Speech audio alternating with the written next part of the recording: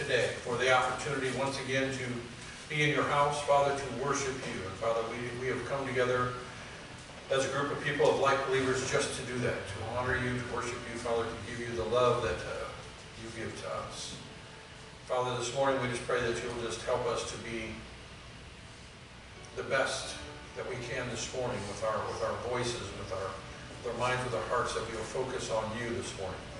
Father, we love you. We give this service to you. We pray this in your Son's name. Amen. Now, I I forgot one thing.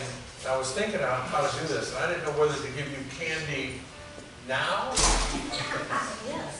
or candy at the end.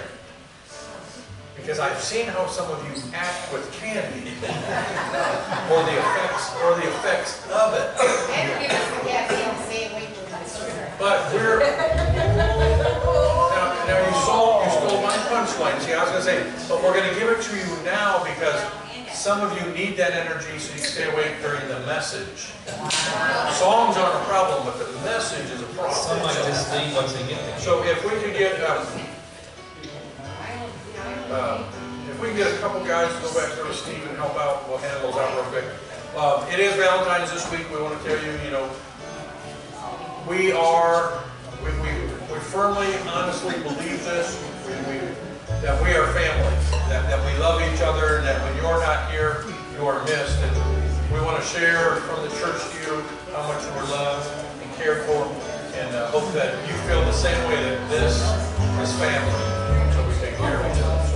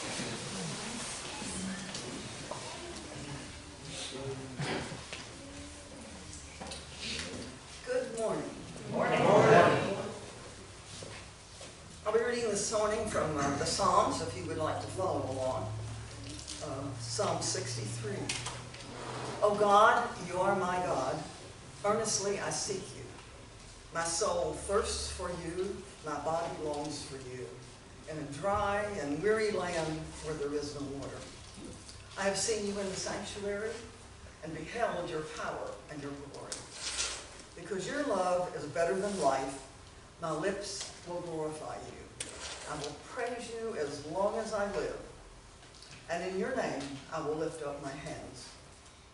My soul will be satisfied as with the riches of food. With singing lips, my mouth will praise you. Amen. Amen.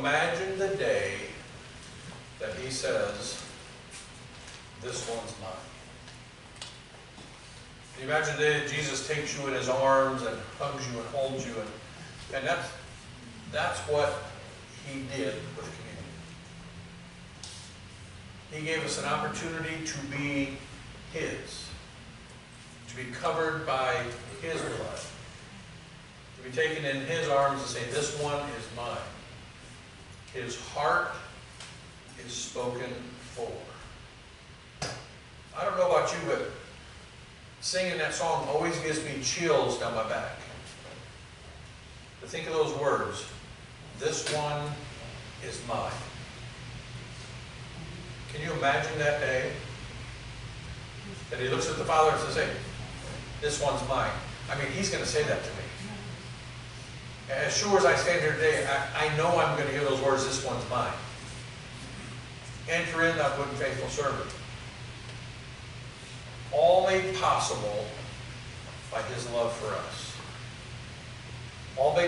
Because he gave his life for us.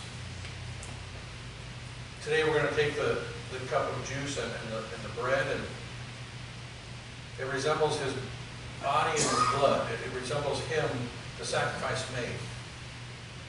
And we're going to take it in. He becomes more a part of us today. We become more of his today.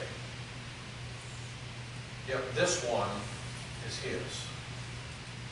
To partake in communion, you have to be able to say that. This one is his. Hopefully this morning you can say that as we prepare our hearts and minds. Let's go to the Lord in prayer. Father, we, we do thank you for your son. We thank you that we can say those words on his.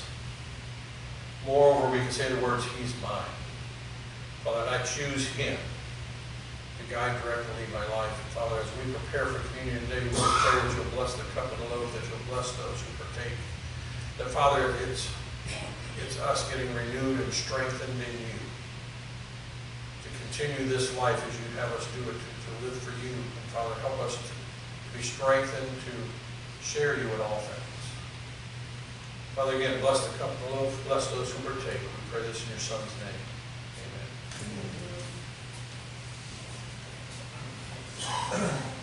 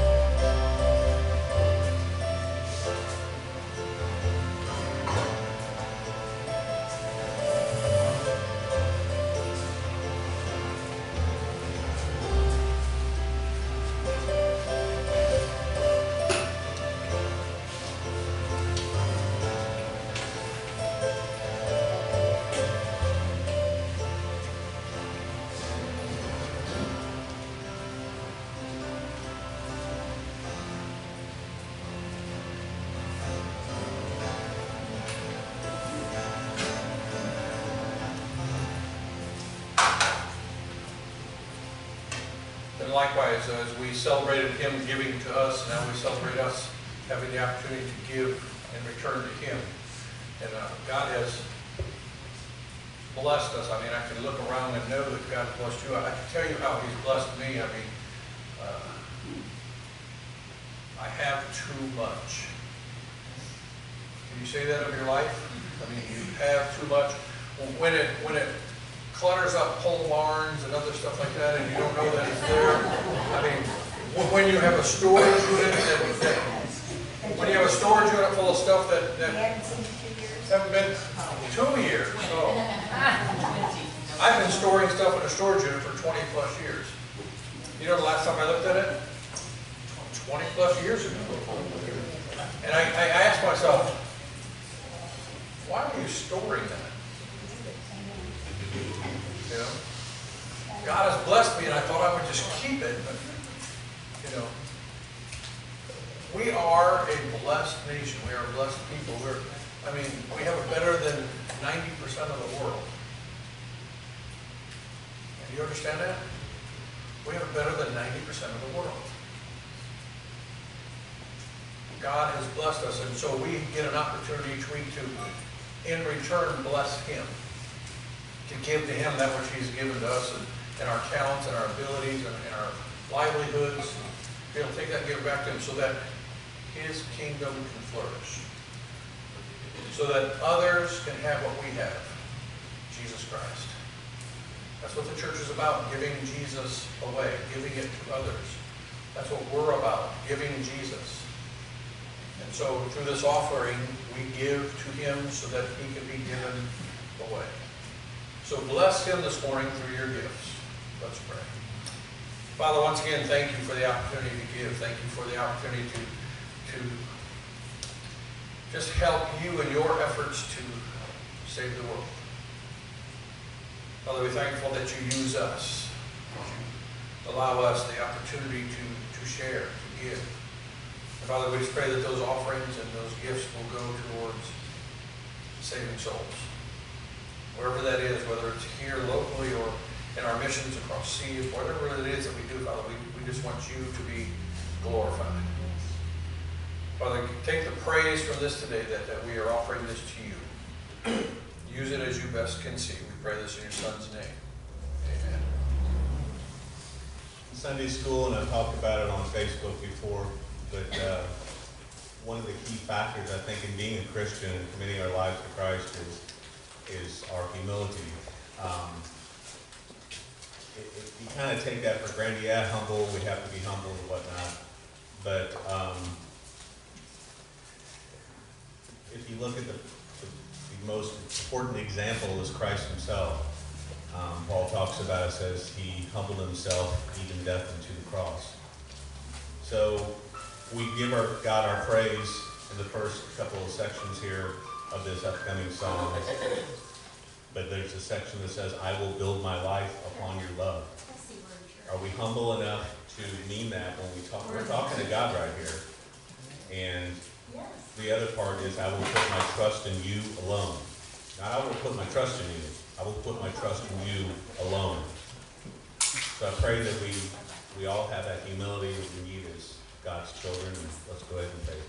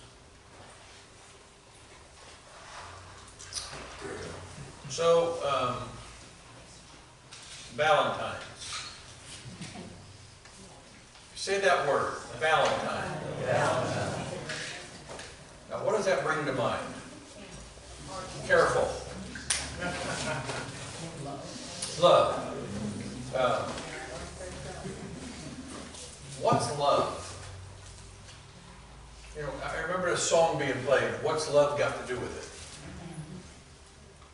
it? Man, it's got everything to do with it. Everything. I, I mean,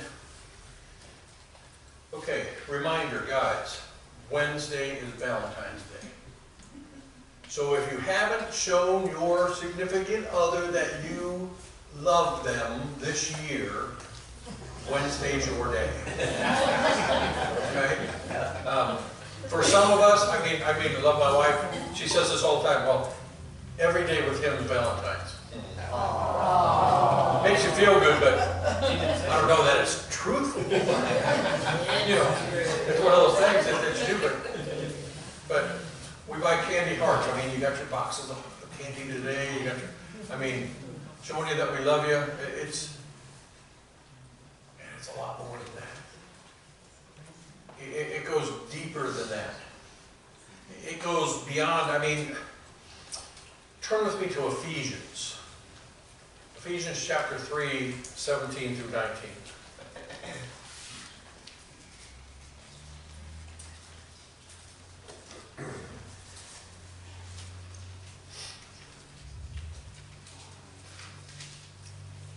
Got it? Ephesians 3, 17 through 19.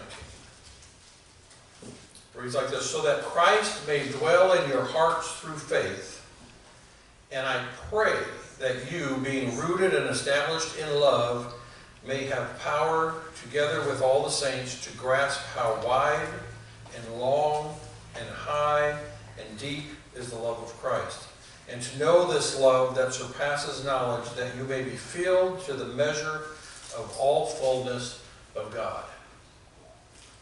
Man, can you understand how much God loves you? Can- you, can you even fathom that kind of love? I mean, we say, I love you to a lot of things.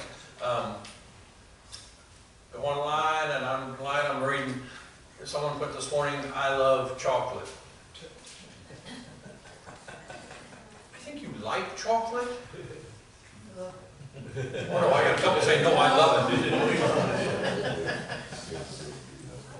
You see, when you read that scripture that we read, it says this, it's life sustaining. Now, I, I have a, a friend in Indiana, uh, Lynn Cole Springer, and she, she posts something about coffee every single day. She might be able to say she loves it. I said, I think she needs it. Sometimes there's a difference between our need and our love. Uh, you know, love is love is this word that is. Um, uh, Harvey told me one time, so misunderstood and so misused. I mean, Harvey won't say he loves chocolate, will you? No. Because the word love means so much more. My life is not sustained by chocolate. My life is not sustained by coffee. My life is not sustained by anything in this life. My life is sustained by the love of God who loves me. And Scripture even tells us that God is love. Now, don't get me wrong, we can love things in this life because we do. Um, there's a dog that's cute, cuddly, and adorable, and we love it. Some of you wouldn't do without the dog. Some will say, I love him or her because she's rich. Well, the truth is you love her money, or his money. I love him because he's fun to be around, but what, what happens when he's not fun? I I mean, love can be fickle in this life, but when we're talking love, a, a true love, a, love that is sustaining and, life, life going, it's, it's, Dawn and I, we made a commitment to love.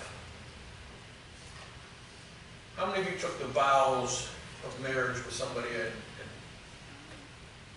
the rest of you are just living together? Okay. No, no. We took vows of love, right?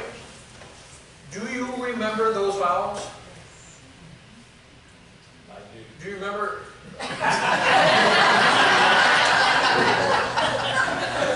He remembered one of the important parts. Um, Yes, But it- it- to have and to hold from this day forward, for richer, for poorer, sickness and in health. I mean, in every circumstance of life, I will love. In every circumstance of life, I will love. You remember making a similar commitment? You ever remember accepting Jesus Christ? I mean, I tell you about mine all the time. It is, it is vivid in my mind that I remember it all the time. You know, I, I, I, I go down and tell you the clothes I was wearing and stuff like that. It's just so vivid. My great grandfather standing down front with one of the old cameras where you look down inside and he's trying to get it focused and he's going, slow down, slow down. You know, because we're coming down now, because he wanted, he wanted to preserve that moment in history. Because it was a momental, mo- momentous moment of, of time that we were accepting Christ as our Lord and Savior. We made a similar commitment on that day. I will love you unconditionally through it all. Wow. How many of you have honored that commitment? You know, I mean, I mean, some were like, some were like, some were looking at each other like, have we? We try our best. I'm gonna tell you, I, I try my best to, to honor and to love God every day. I, it's just about me and Him. If that relationship isn't working, everything else falls apart. And, and so I try, I try to keep it. But I fail. As your minister, I'm going to tell you that. I fail. I mean, there, there are times that uh, sin creeps in. And if you've sinned, you fail. You, you made that commitment, you said I'm going to do this, but sin. What do we do about sin? Get it out. Recognize and say, okay, God, I'm sorry. I, I didn't plan on I didn't, but I did, and so forgive me. To get us back in that playing field that He's our number one love. Now, we use things like um, diamonds, uh, a piece of clothing, maybe a good book, a little box of chocolates. I mean, what has been used with you to show love?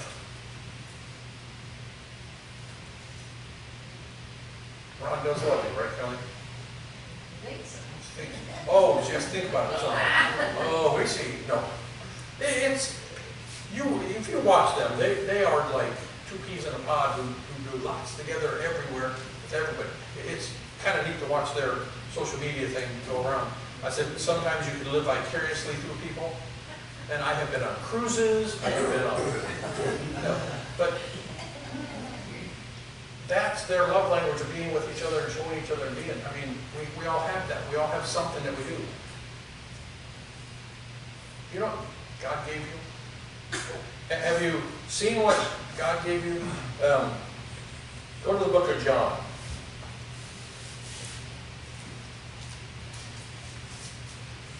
John chapter 3.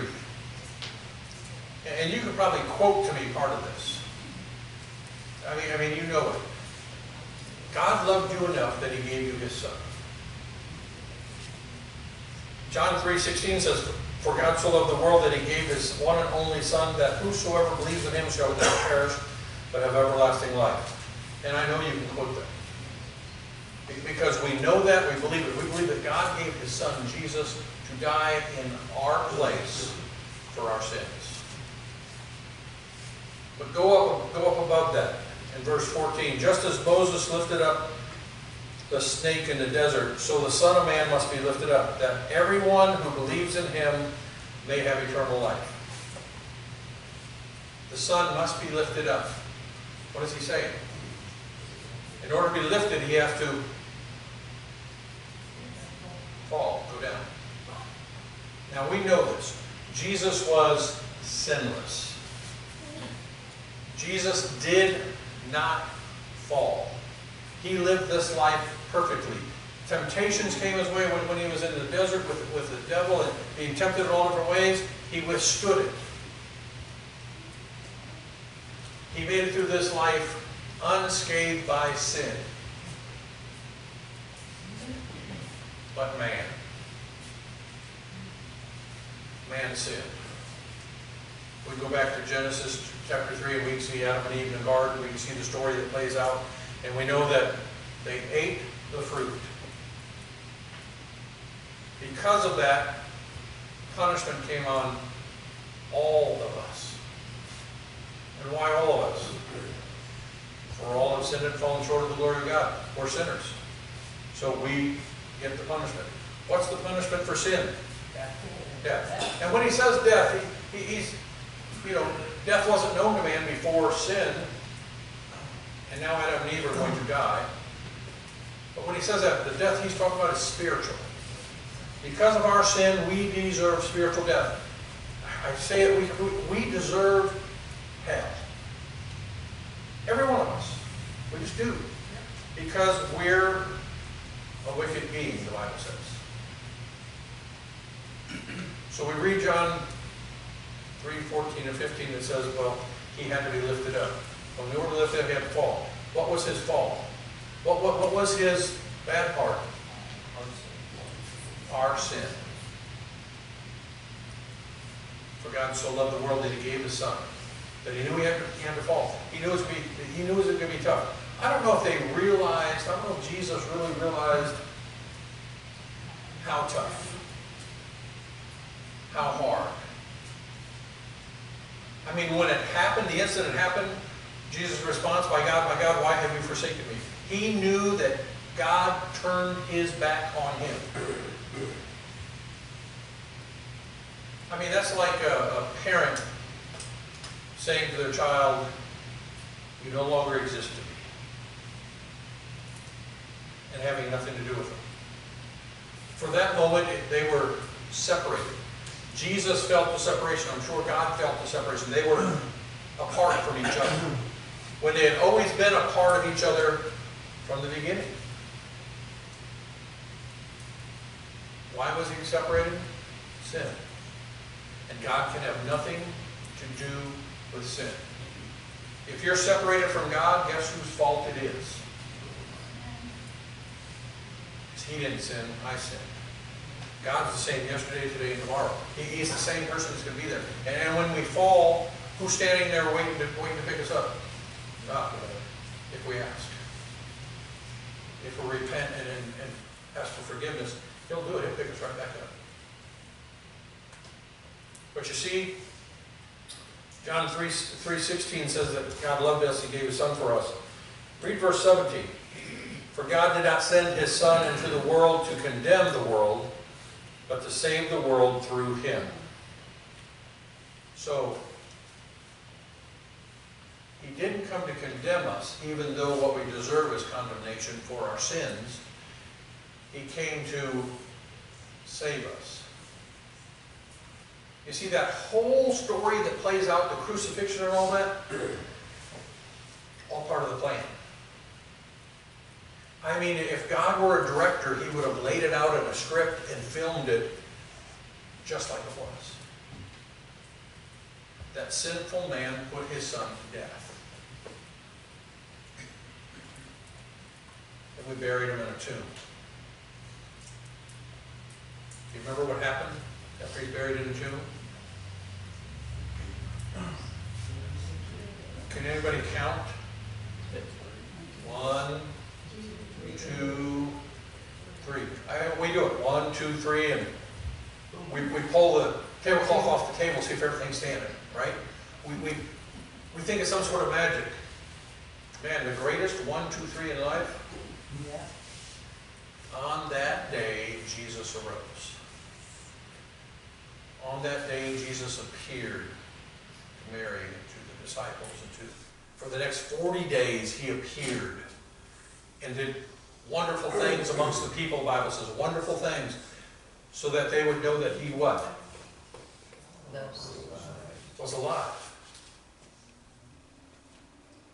I mean, we put him on the cross and we put him in the grave.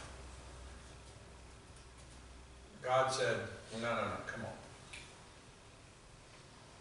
God brought him back amongst us to show us his power, his majesty, his, his supreme being that he was. So that we could know love. Scripture says God is love. Don't mistake it. Don't, don't, don't downplay it. Biggest thing ever happened in the history of man, right here, John 3.16. God loved us enough to send his son here, knowing what kind of people we are. You know, I, I had a, I had a friend this week who said, well, yeah, it happened back then. They, they were that kind of people. I'm sorry, but did you sin? You're that kind of people. I mean, I'm that kind of people. I am doing my best to live the life that God wants me to live. I'm trying to get the sin out. I'm trying to do those things like that. I mean, being the best I can be. I'm trying to, to share His Word with you so that you can be that same way also. But we stumble, don't we, Spencer? And when we stumble, we what?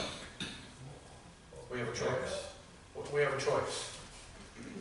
We can lay there and, writhe around and poor me, poor me, poor me, or we can realize that we're His.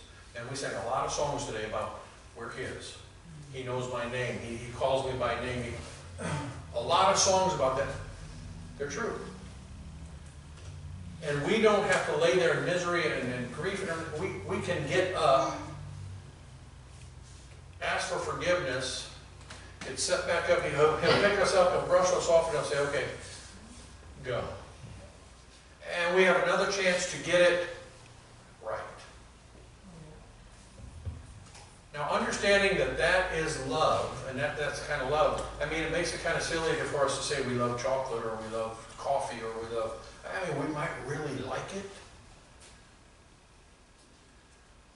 But what we're trying to make is, is that point that love is held in that special place for really special times. And, you know, I love my wife, I, I love God, I love Jesus. I stood here earlier today and I said, your family to me, I, I love you. It's true, I would do, I would do whatever I could do for any of you in this room if you needed it. If you came to me and said, man, doing this and this, but we would try our best to find out what we could do to help you in that situation because we are family. Because we are family, we love. Because we love, we do. Because we are family, our Father in heaven, Jesus the Son, and, and we're heirs with him, Scripture says. Heirs with him. I mean, Jeff, what does that mean to you? part of his life. Part of it. Not just part of it, all of it.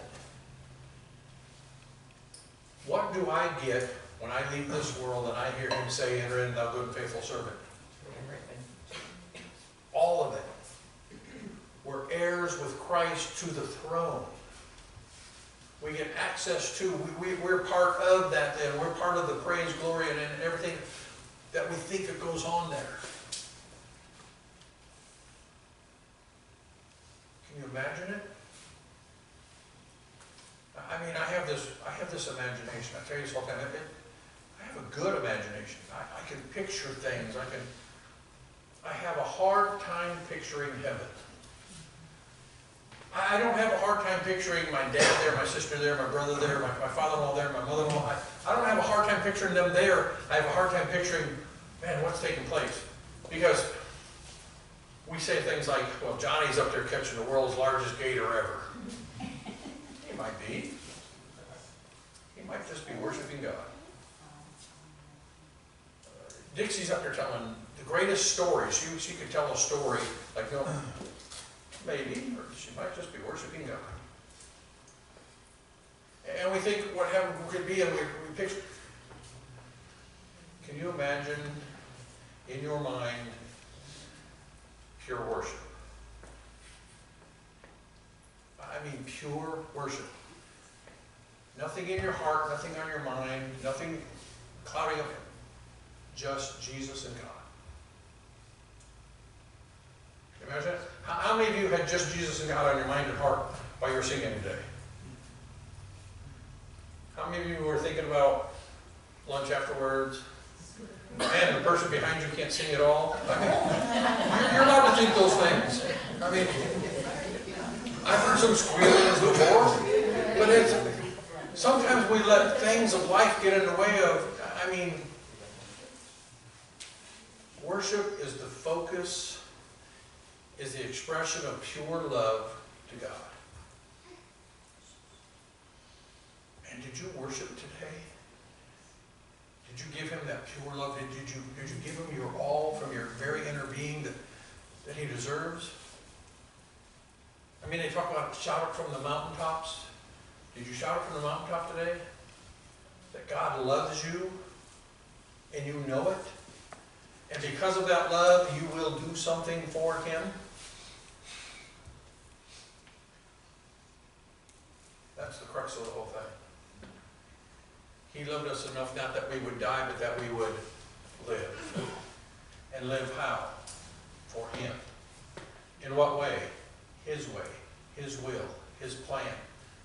To seek and save the lost. To go and teach and preach and baptize. To, to make disciples of those out there that don't know Him like we know Him here. That's love. That's love when, when we're giving to Him what He deserves from us. I mean, He only did one thing. He only gave His Son.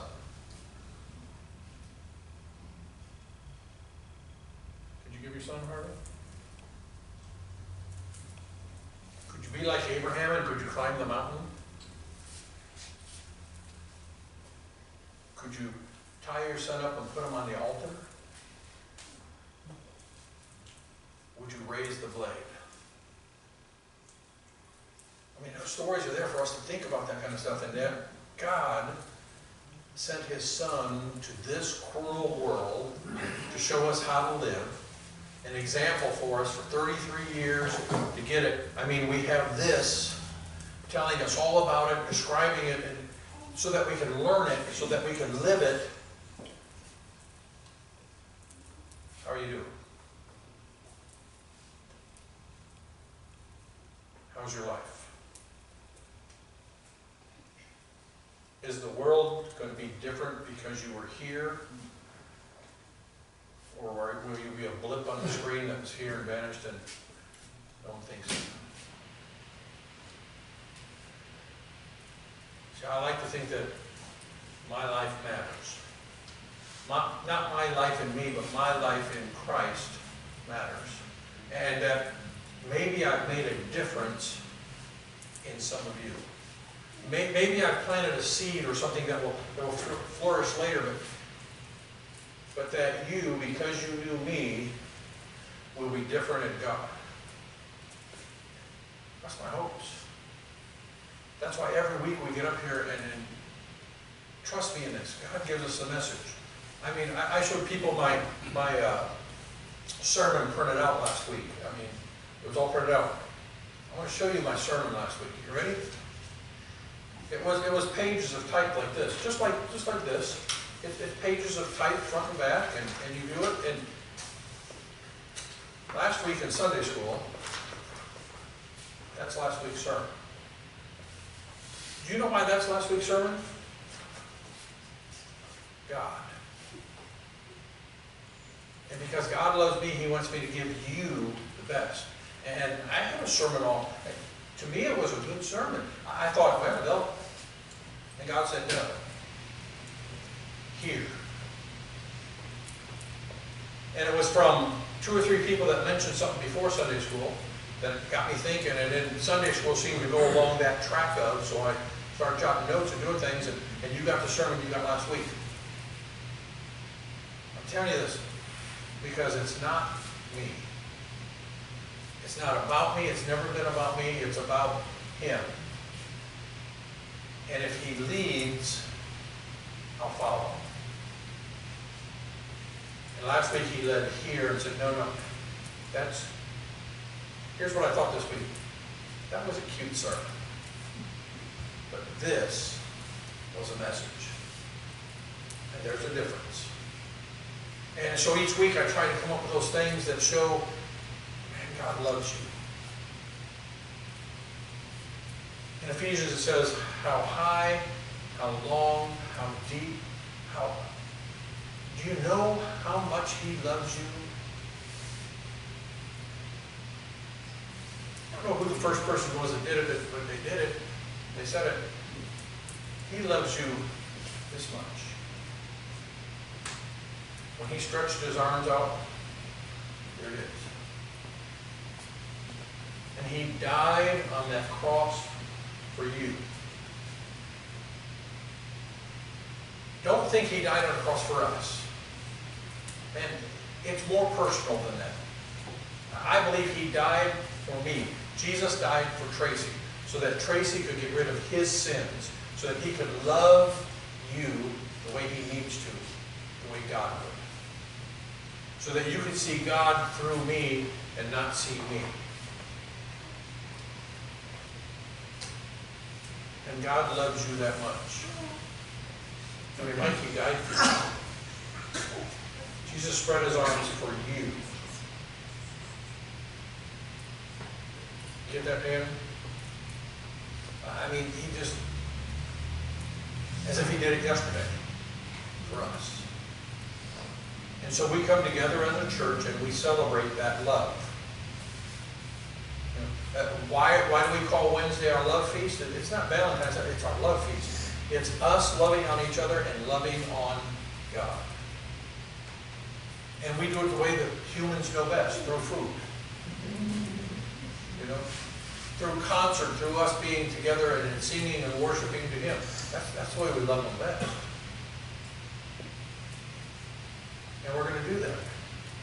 And He loved us best right here.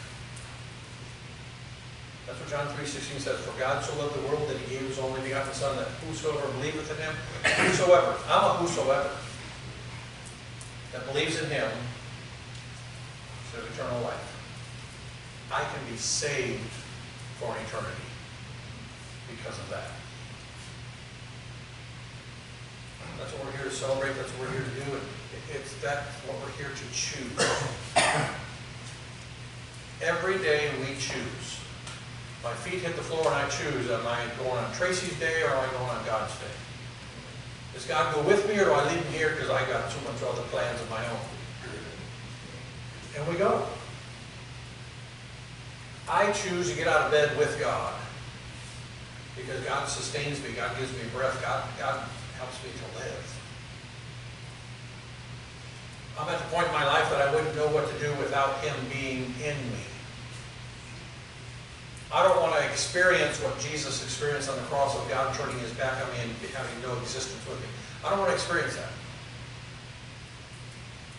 I accepted Him and now I'm, I'm full force going to be His.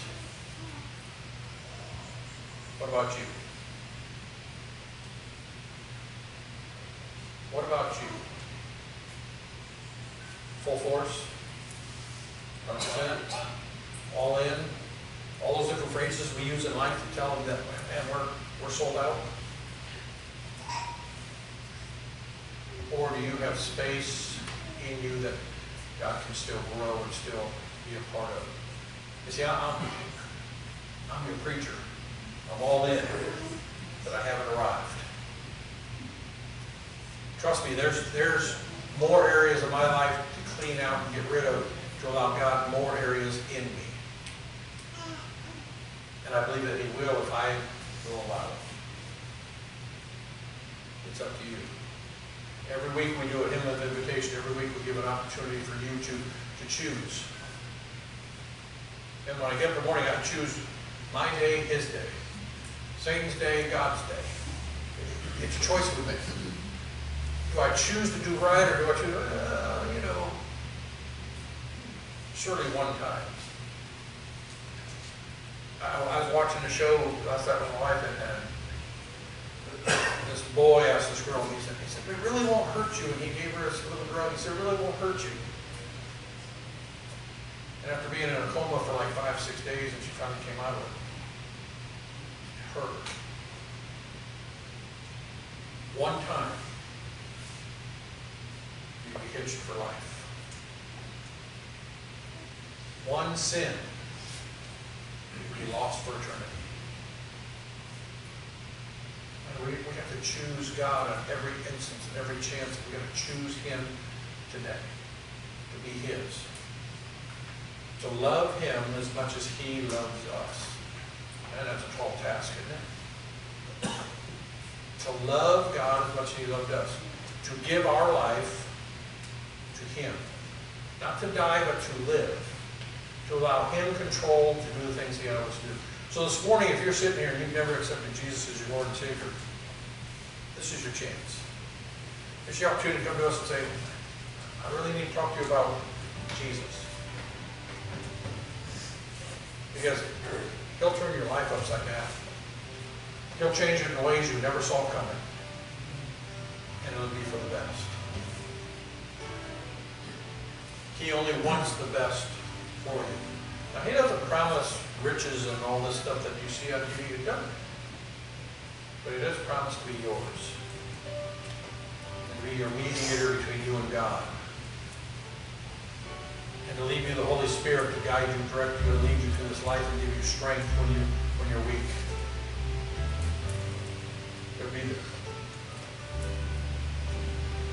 So you can accept Him today, or maybe you're here today and, I mean, this sermon speaks to me. I mean,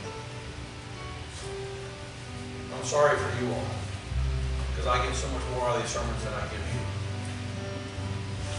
And they speak to me, and, and, and it changes me, it makes me want to be, okay, I gotta do this. And when I ask you these questions, I'm not just asking, I'm asking me. You know, am I all in? Am I sold out? Am I willing to do what he asks me to do, when he asks, how he asks, where he asks? This morning, if you have a decision to make, whether it's the first time for him or a time to reignite yourself in him, as we stand and sing,